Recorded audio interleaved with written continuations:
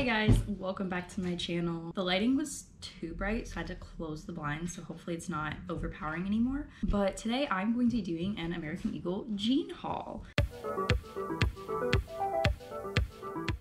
Um, I have been buying American Eagle jeans for like as long as I can remember. They're the only things that fit semi-right.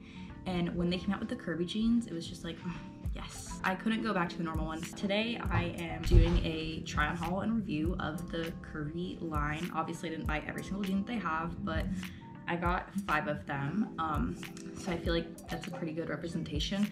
Um, I actually don't think I have any of the curvy jeans. I just have the curvy mom jeans, so those fit a little bit different. That noise in the background is Appa eating his yak chew, so we're just gonna have to ignore that. The thing that I wanna mention with sizing is that you need to size down at least one size. I'm normally a size six or eight in the normal American Eagle jeans, and when I got the mom jeans, I sized down to a six. And with all of these, I bought them in four and I think the darker wash run a bit smaller. With the lighter ones, I honestly might need to get a two, but that also leaves me to be really confused. Like, what do the skinny people wear? Like, I don't know. I don't know how small sizes go. I feel like they only go to like zero, zero. So if you're like more than two sizes smaller than me, there might not be anything that fits you. I don't know. They really need to um, work on that because I am definitely not that skinny. Okay, the first pair of jeans that I tried on were these called?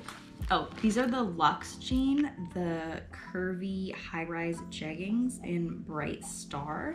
I really like this color and I actually got these in a long because they have kind of a weird trim that I'm not the biggest fan of on the back but not on the front so I was planning on just trimming it all off but I think that I should have sized down an extra size in these um, Again, these are all size four, but I think a two would have fit better because it was slightly loose in the top areas and then also pretty loose as you can see on my calves, which goes for most of these. But yeah, other than that, I think they seem really comfortable. Are they worth the luxe price?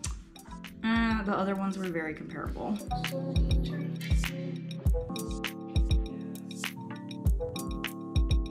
The second pair I got were these darker luxe jeans, the curvy super high rise jeggings. Again, really comfortable.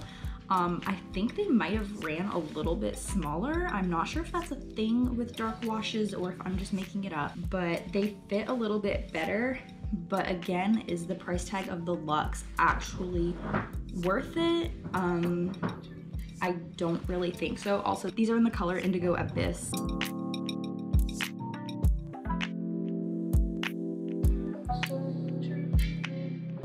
Yeah, I am not sure if I would really recommend these. I mean, I would, but I don't think I'd really recommend these if you're worried about pricing. Regular curvy jeans and jeggings are just like, you know, pretty much the same. Okay, the third pair. I can actually tell these feel a little bit more jean-like, but also I like that. This is the next level stretch curvy, super high rise jegging. Honestly, I feel like all these, they felt like the same rise except for the last pair. This is in the color Dreamy Indigo.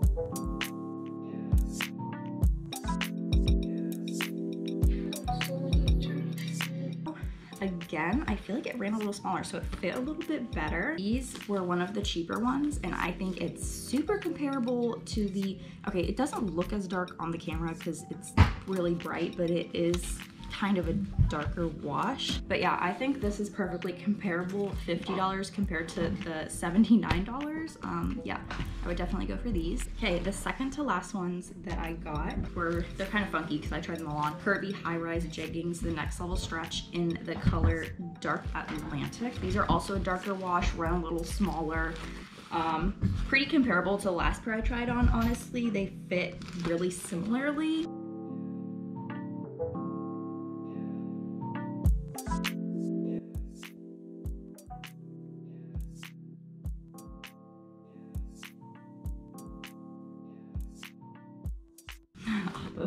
I would recommend these two. Um, don't size down too much in the darker washes. The last pair of jeans that I got were these next level stretch curvy highest rise jeggings in the color Starburst Blue. These are my absolute favorite just because they're super high rise. Again, all the other high rises felt like they rose the same amount, but this one went like above my belly button, like to my actual waist, which is nice when wearing cropped stuff and you don't want your, I mean, now that it's winter, like if you wear a crop sweater, you don't want your stomach getting cold.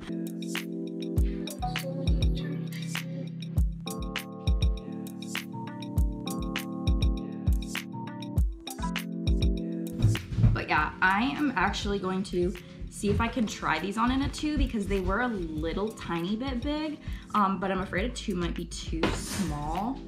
So I can update the description on what size I ended up going with with these. But yeah, I'm going to go to the store today and hopefully try these on in a two to see if that works better. Otherwise, I will be keeping these. They are really comfortable and I feel like it's hard to find like a super high rise jean that's comfortable and actually fits good. Also, these are one of the cheaper ones. They're $49.95. Um, also, there's always sales running, so never pay full price for the jeans. Otherwise, it's a scam. So yeah, I will be linking all of these jeans down in the same order in the description for you guys. And also don't forget that American Eagle does student discounts right now. It's 20% off, so definitely check that out. I always wait until there's a sale and then I, what do you call it? Oh, hello, buddy.